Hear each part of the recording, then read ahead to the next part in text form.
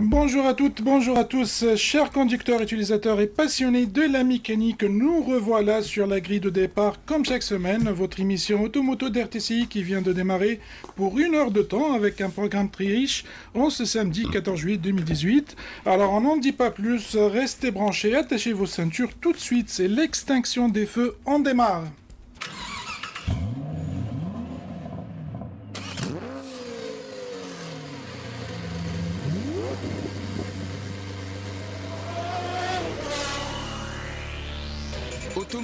Chaque samedi de 10h à 11h, avec Mourad Bouzidi et Kab.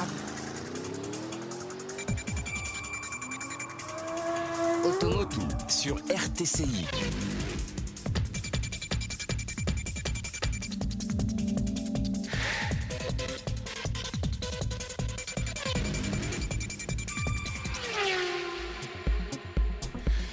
Voilà, donc c'est avec un grand plaisir que je vous retrouve en direct du Studio 1 pour tout savoir sur l'actualité automobile et aujourd'hui un spécial dossier qui se rapporte à la sécurité routière avec notre invité de la semaine, Monsieur Monji Chebi, une grosse pointure, expert en mécanique et président du comité des permis de conduire auprès de l'ATPR, l'association tunisienne de la prévention routière et chroniqueur euh, radio. Donc euh, bonjour, euh, bonjour Simonji. Bonjour à vous tous, bonjour aux éditeurs de TCI. Voilà, donc, et puis, euh, donc, euh, comme d'habitude, Kabi, Amenallah Benguiza sont là pour vous euh, et exceptionnellement sans notre ami Mourad Bouzidi qui s'est offert un petit repos bien mérité. Salut Amen, bonjour. Bonjour à toutes et à tous. bonjour Chris. Bonjour. bonjour à notre invité. Et on va essayer aujourd'hui de, de, un peu de, traiter le sujet de la sécurité routière de, plein de, plein de, plein de façons pour essayer un peu d'éclairer nos, nos, auditeurs. Et Surtout que c'est la saison. Voilà, c'est la saison. Et aussi euh, ils, sont, ils ont le temps maintenant, et c'est les vacances, d'écouter de, un peu ce qu'on va dire. Euh, d'habitude, ils le font à la hâte, comme ça. Et là, euh, on les invite vraiment à, être attentifs à ce qu'on va dire aujourd'hui. Bon, donc, donc voilà. ensuite, bon, on, va, on va jouer ensemble. Mais avant ça, je retrouve notre ami Mohamed qui est, qui est à la commande, qui est à la réalisation, et Madame Mounira Hamemi, qui, qui est à la coordination, et qui se fera un grand plaisir de recevoir et de répondre à vos appels, puisque nous allons jouer ensemble avec Pirelli et Jama Tunisie. C'est très simple, 71 840 000. C'est un numéro de téléphone qu'il faut retenir puisque, euh, puisque nous allons lancer la question euh, immédiatement et vous allez pouvoir euh, donc gagner un chèque cadeau d'une valeur de 100 dinars offert, comme on l'a dit, par Société Jama et Pirelli Tunisie. Alors la question de la semaine, elle est très très simple. Comment connaître la pression de gonflage de vos pneus Donc c'est aussi un sujet qui se rapporte à la sécurité routière. Je répète la question, comment connaître la pression de gonflage de vos, pneus? C'est simple, il suffit d'aller sur la page Facebook de euh, Je Tunisie euh, Pirelli et vous allez trouver euh, la, réponse. Euh, ben, ensuite, comme on l'a dit aussi, vous appelez le 71 840 000. Donc voilà, on va donc avant de passer à notre invité de la semaine, on va lancer une musique et on revient dans quelques instants. 10h16 minutes, bienvenue à toutes celles et ceux qui viennent de se joindre à nous. C'est Automoto qui se poursuit jusqu'à 11h et nous avons euh, apparemment un gagnant au bout du fil. Euh, allô, bonjour Allô, bonjour, monsieur Paye. Oui, bonjour. Euh, donc, si, alors, vous vous appelez Comment vous appelez, s'il vous plaît? Yes, yes, yes, yes. donc, bonjour, Yes. Bonjour. Euh, attends, il y a un petit problème de casque apparemment, j'entends pas très bien. Allô ah oui, oui, je vous, entends bien. Bah, allez, voilà, moi aussi je vous entends très très bien. Donc la question c'était comment connaître la pression de pneus, de, gonflage de vos pneus? La, réponse euh, euh, C'est sur l'arrêt de la portière, dans la boîte à gants, ou vertu de clapet de réservoir de carburant. Voilà. Ou dans la carnet d'entretien du véhicule, par exemple. Bah, très bien, très très bien. Voilà, c'était ça. Oui. C'était tout à fait ça. Oui, merci. Donc, euh, donc je profite euh, pour, euh, pour aussi pour donner quelques conseils à nos auditeurs et auditrices, puisqu'il y a deux informations souvent qui sont indiquées. La pression dédiée à une utilisation normale, une deuxième qui est, qui est dédiée à une utilisation au cas où le, véhicule est, il est en charge ou pour une utilisation sur autoroute par exemple. Donc, alors attention, attention, j'aimerais bien attirer l'attention aussi de tous nos auditeurs et auditrices, c'est qu'il n'y a pas de pression universelle. Donc chaque chaque voiture, elle a sa propre pression recommandée par le constructeur. Donc, et aussi, ne faites pas l'erreur de dégonfler les pneus en été parce que ça, ça peut aussi donner des. La de la voiture. Euh, voilà, donc euh, c'est une grosse erreur. Donc, il ne faut pas dégonfler les pneus. Par contre, il faut vraiment veiller à ce que la, pression soit, soit correcte selon les préconisations du constructeur. En fait, donc, surtout ces jours-là, avec la chaleur. Voilà, surtout avec la chaleur. Donc, il ne faut pas baisser. Pour, faire de la prévention, au lieu de dégonfler, par exemple, pour anticiper euh, comme quoi une, une augmentation de la pression des pneus, il vaut mieux les contrôler fréquemment. Et voilà, il faut C'est beaucoup mieux comme ça. Non, mais c'est ça en fait. C'est des, des, mauvaises habitudes qu'on a. Euh, c'est vrai qu'on pense, on pense que la pression, euh, elle augmente euh, avec la chaleur, c'est correct. Mais, mais, pas à ce point. Voilà, mais pas à ce point. Donc quand il y a, y a, pas, y a assez de pression, au contraire, ça va chauffer plus vite et ça va aussi, on risque d'avoir des dislocations de la carcasse. Merci beaucoup. Donc restez, restez avec nous. Donc Madame Mounir va vous dire comment faire pour récupérer votre chèque cadeau. Merci d'avoir participé avec nous et à la prochaine. Merci à vous aussi, merci, bon week-end. Bon week-end à vous. Donc, pour Donc, euh... juste une petite, une petite remarque par rapport au petit, au petit symbole qu'on va retrouver sur la, petite plaque. Euh, mm. Donc, euh, a priori, elle sera euh, soit sur le, la, portière au niveau du montant C'est la, la, majorité des cas, c'est voilà, ça. Avant, c'était sur le bouchon de réservoir. Ouais, mais, même sur la, trappe, la trappe voilà, de, sur la trappe à essence ou du carburant, généralement. Voilà, ce qu'il faut comprendre, c'est que, tu en as parlé, tu viens d'en parler, c'est les deux pressions qu'on va trouver. Et on va trouver ces, des petits symboles il y, a, y a, des personnes. Donc on va trouver soit une personne ou deux personnes et euh, trois petits bagages ou un petit bagage, et soit euh, trois personnes ou cinq personnes et euh, trois, trois petits bagages. Et ça, ça, veut dire que la, la, voiture est chargée. Quand la voiture est chargée, Donc c'est applicable si on la charge avec, je ne vais pas dire marchandises, mais marchandises par exemple, pas, pas, seulement personnes, mais aussi personnes bien sûr. Parce qu'ils vont comprendre, il, faut comprendre qu'aussi, même si on la charge, par exemple, de, de je sais pas si c'est une petite camionnette mhm. ou euh, de, marchandises, il faut comprendre que c'est applicable aussi. Bien sûr, bien sûr, tout à fait. Je suis tout à fait d'accord. Donc voilà, avant, donc, euh, donc voilà, c'était c'était le jeu, euh, c'était le jeu Pirelli. Donc on va passer à notre invité de la semaine.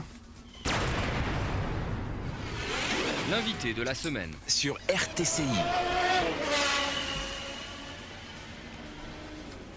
Voilà, donc donc bonjour euh, Simon G, moi Simon G Cheb, donc expert euh, en mécanique euh, aussi, donc vous étiez chroniqueur aussi dans...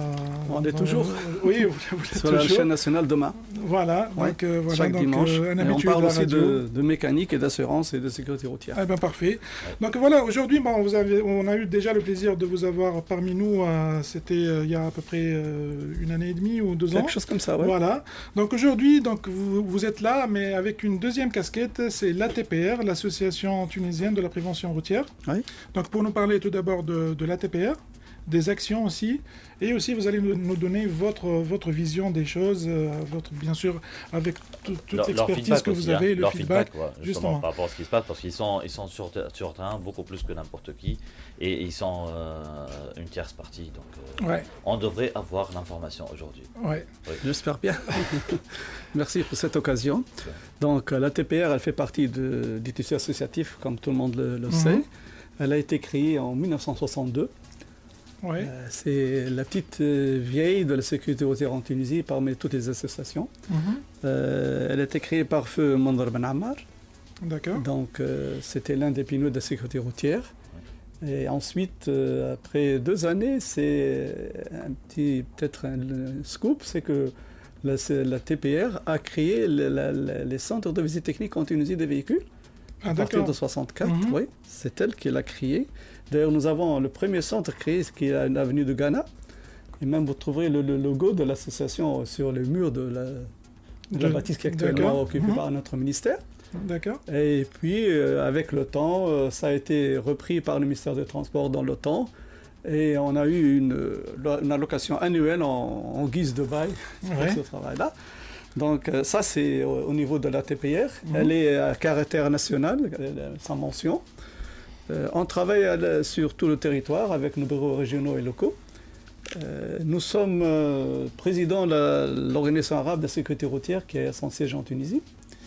Et nous sommes vice-présidents de la prévention routière internationale. Donc, j'ai été circonscrit un peu le, problème pour ne pas trop parler, mais voilà, c'est quelques lignes pour présenter globalement ce qu'est ce la TPR. Bon, on travaille sur le train comme tout le monde. Et tout à l'heure, euh, vous avez dit le feedback. Euh, ce qui nous manque en Tunisie, donc, je ne sais pas si j'essaie de m'interférer, euh, c'est l'évaluation, l'évaluation objective. Dans tous les domaines, ce qui nous manque profondément. Oui. Donc, on le sent comme vous le dites, hein, c'est sur tous les domaines. Oui, donc voilà, c'est même si on va parler de, on va parler de sécurité routière et comme tout le monde sait, il y a, il y a quatre euh, bases de la sécurité routière. On appelle ça les four E's. Les four E's, donc c'est-à-dire c'est l'éducation avant tout. Quand on est d'abord une stratégie, c'est l'éducation, euh, c'est la législation, mm l'enforcement, c'est les urgences, emergency. Et c'est l'engineering, c'est tout ce qui est euh, ingénierie et tout cela. Et en même temps, on, a ajouté un cinquième élément, c'est le, le fourth E's, five E's, c'est l'évaluation. Donc l'évaluation, elle est primordiale maintenant dans chaque action il faut voir le feedback dont vous avez parlé tout à l'heure.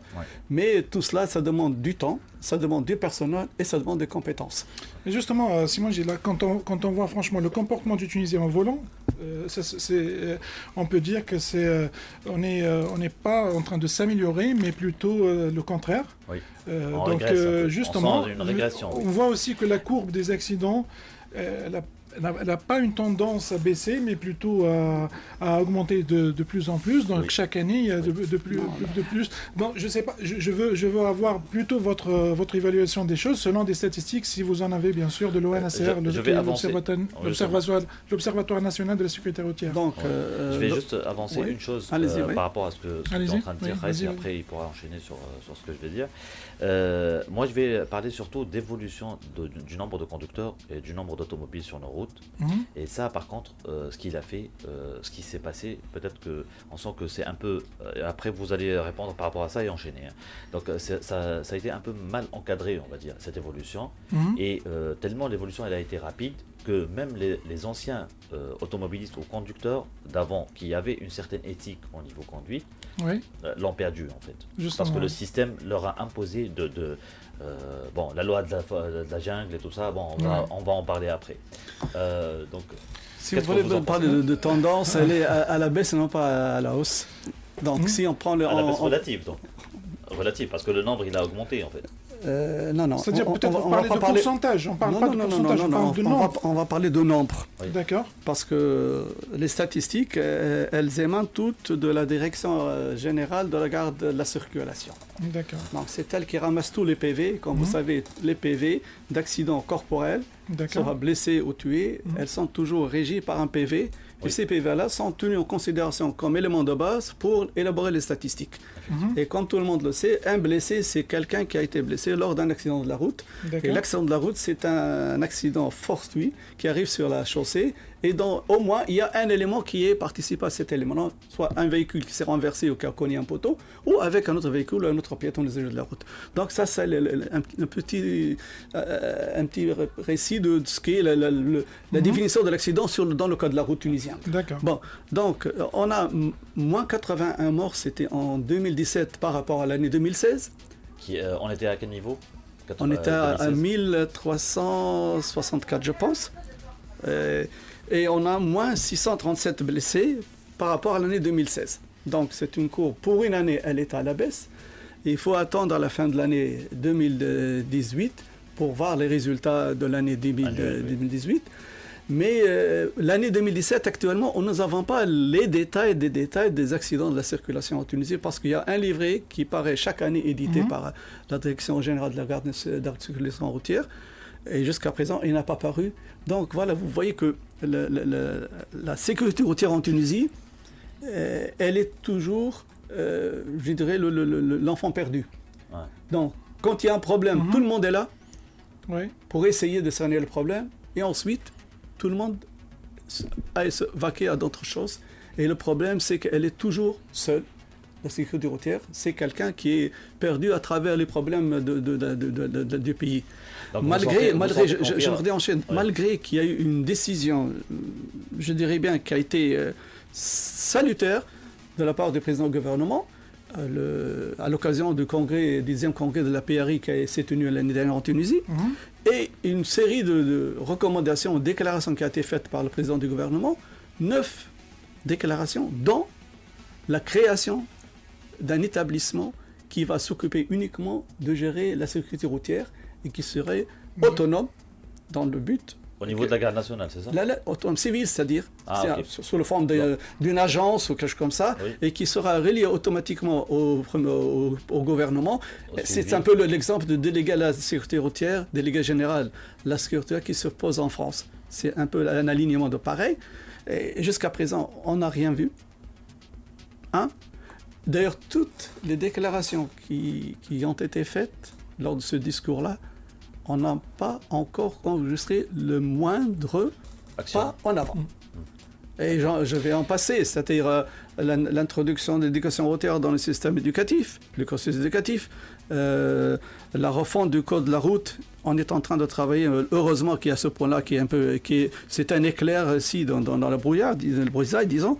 Euh, il y a l'achat de voitures tonneaux pour mieux sensibiliser les gens sur la sécurité routière. Mm-hmm. Et, il y a d'autres problèmes. Et, l'un des problèmes aussi les plus importants, c'est la dotation de la Tunisie d'une stratégie nationale de sécurité routière 2018-2025 et jusqu'à présent, on n'a rien vu. Donc, vous voyez, euh, il y a beaucoup de choses qui ont été dictées, mais, sur le plan pratique, elles ne sont pas encore réalisées. Oui, mais, Donc c'est la responsabilité de l'État, en fait. De tout le monde. C'est-à-dire de tout le monde, c'est-à-dire un citoyen ne peut rien faire. Enfin, ça, euh, c'est-à-dire c'est il y a des gens qui sont qui sont impuissants face euh, face à des. Non mais il faut pas oublier juste une chose. Je vais, juste parler de, de, quelque chose.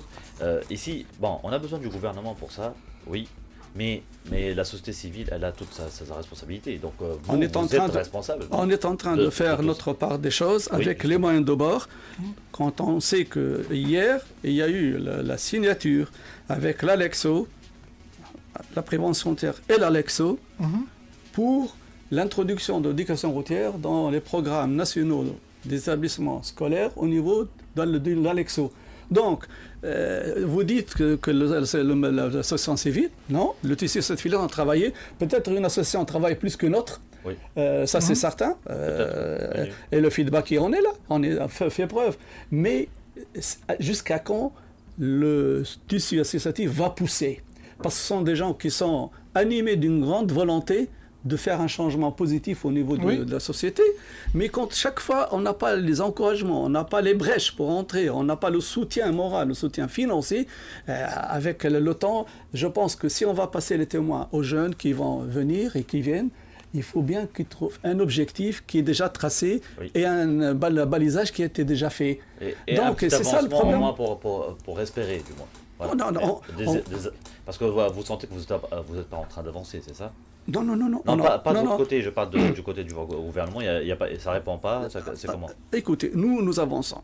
Je vous donne un, petit exemple. Le, ministère de l'Éducation nationale, le ministre, il, est, il a intervenu dernier mois d'avril. Nous avons organisé mmh. euh, une, euh, un colloque international sur l'apport de l'éducation routière dans les programmes de, de l'enseignement. On a eu de, tout, de, de, toutes parts. Les pays sont venus là et on avait deux jours avec euh, quatre demi-journées pleines d'interventions et de communication de haut niveau. Et il est intervenu pour dire que l'année prochaine, on pourrait bien introduire l'éducation routière dans les programmes nationaux en Tunisie. les modalités, qu'elles soient euh, euh, transversales ou modulaires, ça c'est un problème, disons, technique et pédagogique. Il y a le ministre de, de, de l'équipement et l'habitat qui intervient à chaque fois et qui fait un travail très appréciable au niveau de la sécurité routière. Euh, un petit exemple, c'est qu'ils ont créé une unité, un module qui, qui était enseigné maintenant à la faculté mhm. pour créer euh, un groupe d'auditeurs de sécurité routière. Ah, carrément. Donc, euh, il y a certains ministres qui sont impliqués, qui veulent travailler.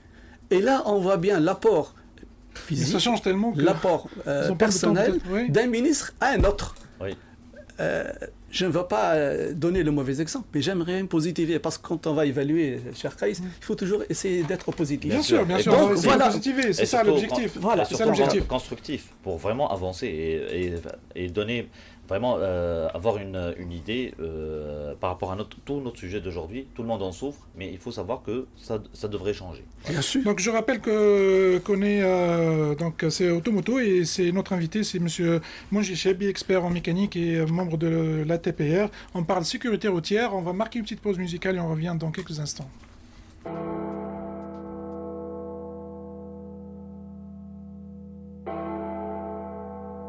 Dans Automoto, euh, c'est presque la dernière ligne droite puisque on continue jusqu'à 11h. Donc, on est euh, je au 36e tour. Voilà, donc c'est, je rappelle que, que, nous avons comme invité M. Mongichebi, expert et membre de la TPR, donc expert en mécanique.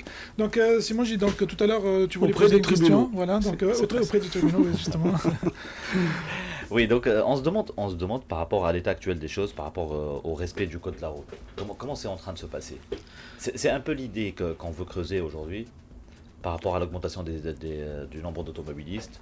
Euh, bon, on ne va pas parler d'augmentation de, de, permis ou nombre du parc automobile parce que c'est normal, c'est une évolution euh, naturelle de, de de la croissance économique, c'est la croissance démographique. Si on va parler d'abord du rapport entre euh, l'augmentation du parc auto, par exemple, et sa relation avec euh, son incidence sur les accidents de la sécurité routière. Nous avons eu tendance en Tunisie d'analyser ou d'aliéner euh, l'augmentation du nombre d'accidents et des tués par rapport, qui est toujours lié au parc auto, l'augmentation du parc auto. Il y, a deux choses qui sont à vérifier. La première, elle est certaine c'est que l'augmentation des parcs auto n'a jamais eu une incidence directe sur les accidents. Et là, je vous donne toujours un exemple pour qu'on soit en cohérence avec nos chers auditeurs. Mhm. En France, en 1972, on comptait 16 000 tués sur les routes françaises, avec à peu près 25 millions de véhicules. Quand on dit véhicules, c'est euh, d'une simple mobilette au, semi-remorque. D'accord? En, en 2017, en France, ils ont environ 30 millions d'unités de véhicules ils sont tombés à 3600 tués. Donc, moins des trois quarts. Oui. Euh, Donc, c'est-à-dire, c'est une équation qui a été vérifiée. Et là, euh, j'invite tout le monde à bien penser sur les vraies causes de cette baisse. Justement, c'est le fond de notre question, justement. Parce que même, la France, si ça évolue, ça, ça veut la rien France, dire, par exemple, à titre de la France, euh, ils ont fait toute une série de mesures avec le temps pour faire diminuer cette courbe-là. Elle était parfois impopulaire, parfois elle était acceptée. Impopulaire quand on dit Comme que... Euh, récemment la, diminution de la, vitesse sur route euh, de 90 euh, à 80. Elle est up-to-date celle-ci, cher ami. Donc, il y a eu en premier lieu le permis à points, qui a été très controversé par les routiers. On est arrivé à trouver une solution à faire un permis blanc pour ces conducteurs-là uniquement pour conduire sa propre voiture durant son congé. C'est ça l'élasticité d'une loi. Oui.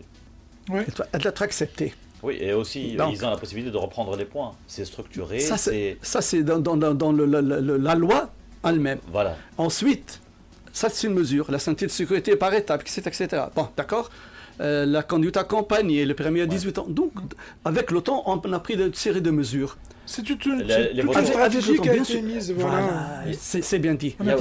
Donc, si on va euh, continuer sur cet élan-là, euh, actuellement, on a constaté en France que les routes nationales à double voie, mhm. sans séparation physique, avaient toujours engendré d'accidents graves vu la vitesse qui est due toujours soit un dépassement, et le dépassement toujours c'est un croisement et les dégâts sont très importants. On a pris cette décision à partir du 1er juillet de fixer la vitesse à 80 km/h sur les routes qui n'ont pas de séparation physique en pétant. D'accord? Il y a eu pas mal de problèmes. Le Premier ministre français a bien été clair, elle dit notre objectif c'est sauver le maximum de vies humaines. il a tablé sur 400 vies à sauver cette année-là et l'année prochaine. Donc il y, y a une volonté politique qui est appliquée et non pas sur des décisions. Ce sont des décisions applicables à travers des institutions qui ont été créées par l'État. Et ces institutions-là ont elles-mêmes supervisé, encadré des sous-établissements dans le but de créer une dynamique le véhicule, c'est une dynamique. Mhm. Donc, une dynamique de lois qui sont applicables, qui sont perceptibles de la part des utilisateurs de la route. En Tunisie, malheureusement, nous créons des lois et comme nous avons un terme en Tunisie qui est un peu particulier, nous disons on va revaliser la loi. C'est une loi qui existe, il faut l'appliquer. À, condition, pourquoi ne pas créer, créer une loi et ne pas l'appliquer? Dans ce cas-là, cette loi-là n'a plus de sens et les gens sont tenus d'une façon de laisser faire à ne plus respecter les lois et là, nous avons le problème de mentalité dont vous avez parlé tout à l'heure. C'est un problème d'impunité et un moral que je suis en même temps, je suis conducteur et je suis, un peu, je suis un peu maître de, de, mon sort parce que je ne crains pas beaucoup la répression et la, la, loi. Malgré, malgré les efforts qu'on a vus sur la signalisation, le traçage. Oui, mais euh, il y a une, une, remarque, bon, c'est une remarque toute simple, c'est-à-dire, je, je, pense que pas mal de gens se posent la même question. Aujourd'hui, quand on prend, par exemple, l'autoroute entre Hammamet et Sousse, euh, direction euh, euh, bon, Tunis, direction Tunis. Et là, vous avez l'impression de conduire dans ces, un jeu vidéo. Donc, il y a tellement. C'est-à-dire, le comportement, c'est un comportement qui est vraiment bizarre. Les gens, ils sont. Il n'y a aucune conscience. vous avez l'impression d'être d'être vraiment dans un. C'est l'anarchie C'est l'anarchie on, est, dans une arène. Exactement. Effectivement. Tout à fait. même l'arène, c'est la, loi du plus fort. Justement, la, route de la, Marsa aussi, c'est la même chose. C'est-à-dire, dès qu'il y a plus, plus de deux voies, c'est l'anarchie, c'est les changements de changements de de, donc de voix euh, avec mais c'est n'importe quoi. Regardez, euh, il y, a, y a une solution à tout problème. Et, par exemple, pour, pour, la sécurité routière, on a toujours parlé d'une base qui est l'éducation routière. Excusez-moi, je, je, suis, je suis dans le domaine, vous le savez très bien, Simon, j'ai euh, le domaine du, conseil et tout ça. Mais je pense, en, toute sincérité, là je vais le dire comme ça, euh, je pense que les, on doit surmonter l'étape de la sensibilisation et passer euh, vers peut-être trouver d'autres solutions. Voilà, parce que apparemment le préventif n'avance pas trop. Euh, il faut, faut, faut, prendre des mesures, mais euh, c'est-à-dire qu'il faut, faut, avoir une loi qui soit vraiment dure et applicable. Des, des, pour, pour, les lois, cher Kreis, elles existent. Je vais vous citer toujours un exemple concret. pour les deux roues, par exemple, les deux roues, ils présentent presque le un tiers des victimes de la route. Mhm. C'est énorme. C'est énorme, oui. il y a, sur, ce, sur un tiers-là, ce sont des gens qui sont soumis à une réglementation conduire un deux roues plus au 49 à 125, on doit être assujetti à un permis de conduire de catégorie A1. Obtenir un permis suite à un examen de code uniquement, l'examen théorique, avoir un âge minimum de 16 ans, circuler avec un casque, de nuit et de jour, feu allumé. D'accord? Oui. Le constat sur la route, je vous laisse la réponse. Euh, mais justement, on est dans la même. Voilà Non, non, mais, mais, voilà, on est dans la même quelque chose. Quand on crée une loi, oui. Il faut l'appliquer. Soit qu'elle est accommodée à la réalité et elle est facilement applicable et en même temps euh, contrôlable, ou bien il faut attendre le moment pour faire une loi qui soit acceptée, appliquée, gérée et contrôlée. Euh, euh, justement, ah donc, euh, Simon, je rappelle aussi qu'il y a, c'est-à-dire lors d'une conférence de presse, je rappelle que, c'est-à-dire le président de la TPR, c'est Rafif Frik, et que je salue d'ailleurs, parce qu'il a bien, donc il a très très bien réagi avec nous lors de cette invitation, et il a, il a même imputé la responsabilité de l'État à l'État de la multiplication des accidents de la route à cause du manque des actions de prévention. Donc, les actions de prévention, c'est-à-dire c'est une position de la TPR directe, c'est-à-dire c'est pour vous le, responsable, c'est l'État.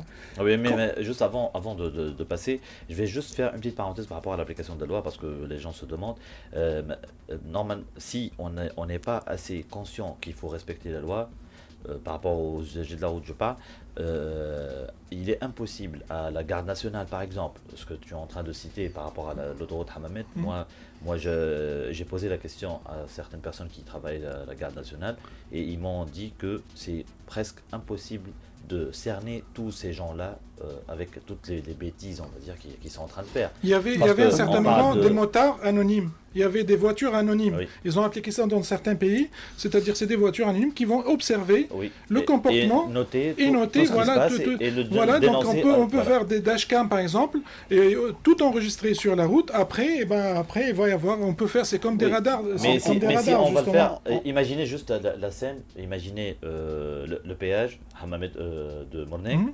Euh, dimanche soir, vous savez très bien combien de voitures il y a. Et imaginez tous ces gens-là. Non, je sais pas, c'est-à-dire ce sont des. Bon, après, il faut affiner, je sais pas, ce sont là, je, je, réfléchis à. Le Tunisien, le Tunisien euh, on, parlait de l'impunité, le Tunisien a eu l'habitude de, de, de, l'impunité et c'est une question de conscience. On va parler, c'est l'usager lui-même qui doit être conscient, qui doit respecter la loi. S'il doit être conscient, on doit le, former et l'informer en continuité. C'est-à-dire qu'il faut qu'il ait une formation de base qui dure dans le temps, dès la maternelle jusqu'à la faculté, jusqu'à l'entreprise, qui soit toujours conscient du danger que la route présente et son comportement quand elle est négatif, qu'est-ce que ça engendre aux autres.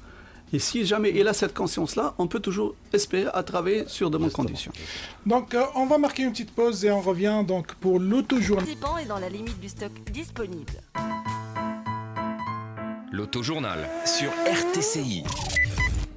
10h51 minutes, euh, c'est la dernière ligne droite pour euh, le Automoto. Donc, euh, c'est l'auto-journal Amenala Benguiza, puisqu'aujourd'hui, on va parler de l'événement de la semaine qui, qui était marqué par l'ouverture d'une nouvelle agence. C'est Bakouche Automobile qui ouvre une nouvelle agence agréée par Benjamin Motors à Sousse. Et c'était c'était le lundi dernier. Tu étais présent. Et c'est quelque chose qui est vraiment remarquable parce qu'il faut comprendre que BMW n'a pas d'agent agréé autre qu'à Tunis. Donc là, c'est un véritable événement pour l'automobile, pour les automobilistes, pour les BMistes, pour euh, presque c'est un événement national. donc c'est en fait cette inauguration de ce site, donc elle s'inscrit dans le cadre aussi. Il faut, faut, rappeler que de la stratégie de développement de Benjamin Motors, comme, donc ça confirme ce que tu viens de dire, qui met l'extension donc euh, de son réseau au centre de ses euh, priorités. Donc voilà, c'est apparemment c'est un centre géant. Moi j'étais étais pas, tu étais présent. On parle de 5000 mètres carrés sur 5 niveaux pour une agence 3S, donc c'est l'agence de couche automobile. Voilà, effectivement, euh, ce, qui se passe, c'est que tout simplement, ça a été fait à la hauteur. Euh, bon, sur Actu Auto, on est très amateur d'automobile et on, a, euh, on aime bien qu'on apprécie les choses telles quelles. Mhm. Et BMW, c'est une grande marque allemande, donc il faut que le, showroom et les infrastructures correspondent à l'image de la marque. Et là, c'est le cas. Ce qu'on a trouvé, c'est que quelque chose qui a été très bien réalisé, c'est très spacieux pour euh, une agence qui est entre parenthèses euh, euh, hors Tunis, c'est, on, va même parler d'une agence qui, qui, est un peu plus grande que, celle de Tunis, carrément. Mais là, ce qui est à noter et ce qui nous fait plaisir, c'est un peu, on est en train de peut-être penser un peu à la décentralisation.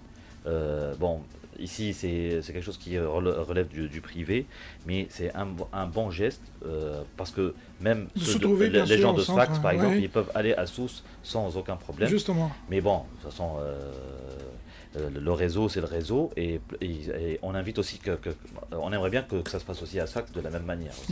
Mais alors justement, donc cette, euh, cette cérémonie n'a pas été, bon, c'était pas seulement l'inauguration de cette agence, mais elle était accompagnée aussi par le lancement de la nouvelle BM X3. Donc c'est une, c'est une voiture 100%, donc c'est du 100%, euh, c'est une voiture 100% nouvelle. Donc il y a, y, a, du contenu technologique, donc ça repose aussi sur un nouveau châssis qui est amélioré. Donc c'est le, c'est le châssis de, la, de, de, sa grande sœur qui est, qui est la X5. Oui, donc euh, c'est une plateforme qui, qui, ressemble à celle de, qui, qui est extraite de la X5. Euh, de toute façon, on, on, organisera un essai de la semaine sur la X3. Euh, ce qu'on va, ce qu'on va juste, on va faire une petite présentation de la X3. Donc c'est la troisième génération justement. Euh, Mais les changements, est-ce que tu as remarqué qu'il y a des changements vraiment ou... oui, oui, en fait, ce qui se passe, c'est que récemment sur BMW, ce qu'ils font, euh, ce qu'ils font, c'est qu'ils sont en train de refaire un peu les calandres, essentiellement les calandres, les signatures euh, lumineuses aussi, ils sont à double crochet au lieu de, l'ancienne qui était autre que ça, et la signature lumineuse à l'arrière aussi. Donc à l'arrière aussi, les choses ont changé chez, chez BMW. C'est la nouvelle signature lumineuse Et bon, ça a tendance à. Ça, c'est. En fait, ce qu'ils font sur les SUV, ils ont mis deux catégories maintenant de SUV et qu'ils ont deux identités différentes. C'est les coupés, la X4, X6 mhm. par exemple, et la X2. Euh, qui ont une certaine identité euh, visuelle par rapport à l'éclairage arrière et avant. Euh, avant, ils sont très semblables, mais à l'arrière surtout. Et les SUV réguliers, on va dire, X3, X5 et peut-être X7 aussi mhm. très prochainement, et X1 bien sûr, qui ont une, une autre, un autre type de, de, de, signature lumineuse à l'arrière. Et euh, ça, c'est pour un peu différencier un peu les deux, les deux gammes parce que c'est deux choses différentes et c'est deux cahiers des charges euh, clients différents parce qu'un X3 et un X4, on ne peut pas les comparer.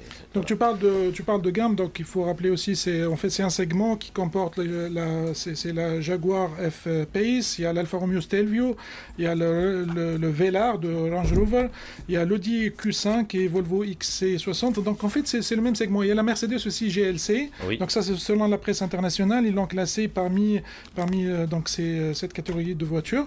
Et donc, euh, Mais bon, bah, pour les comparer directement, on, aura peut-être quelques, quelques petites différences parce qu'il y a des, des, problèmes, pas des problèmes, des contraintes de longueur par rapport à ces modèles-là. On en, on en fera. donc on va faire l'essai très prochainement avec Actuto. Voilà, on va essayer justement, cet été, on va faire, on, va essayer d'avoir l'essai de la X3 et en parallèle aussi, on va faire un petit comparatif dimensionnel par exemple par rapport à tous les SUV. Comme ça, nos auditeurs, si quelqu'un veut choisir un SUV de cette catégorie-là, il sait ce qu'il y a sur tout le panel.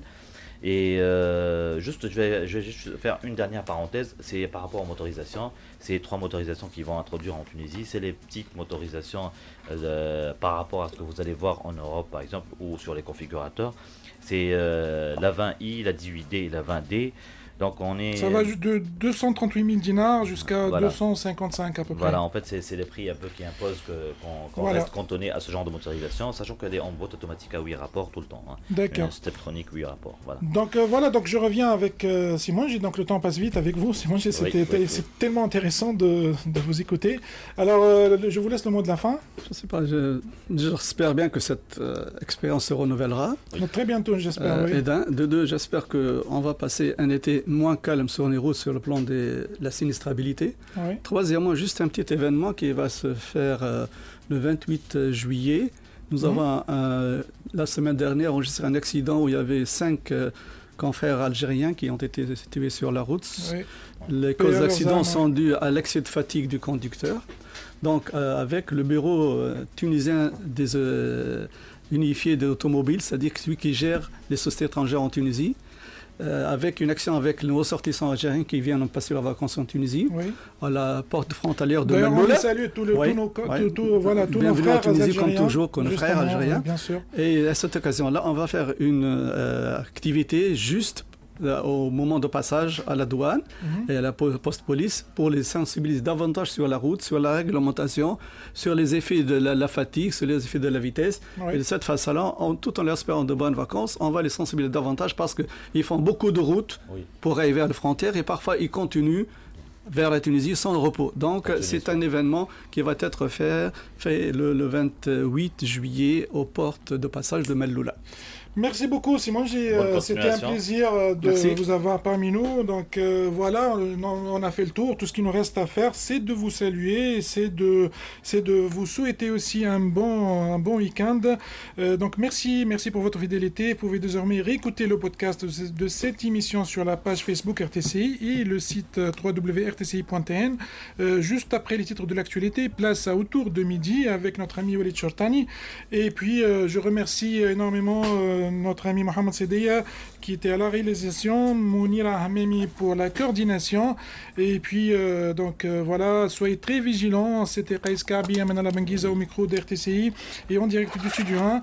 Voilà, vous pouvez toujours euh, donc rester branché sur la 98.2, la 90.0. Très bon week-end. On se donne rendez-vous la semaine prochaine avec Mourad Bouzidiki qui va faire son retour. Et voilà, qui reprendra les commandes. Alors, bon week-end. Ciao, bye bye.